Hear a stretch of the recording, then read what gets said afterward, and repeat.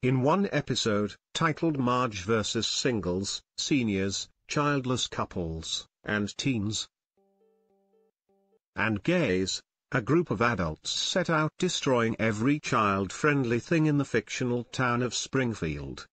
They trash ball pits, burn children at play signs and vandalize the front of a Toys R Us.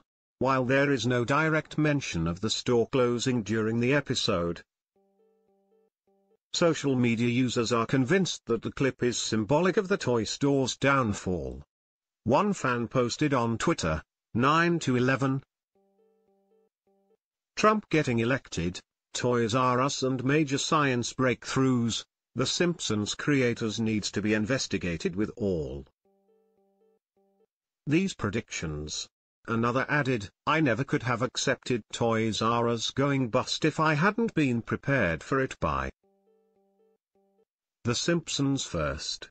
And a third stated, so The Simpsons had an episode where they predicted the Toys R Us closing in 2004. A couple of years late and Toys R Us is going out of business.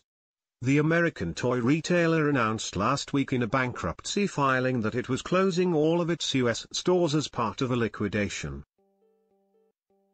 And although there is no guarantee that Matt Groening has special prediction powers, his storylines are increasingly becoming a reality.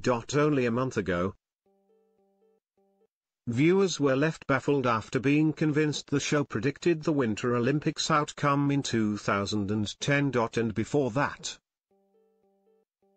another episode correctly forecasted Lady Gaga's halftime Super Bowl show.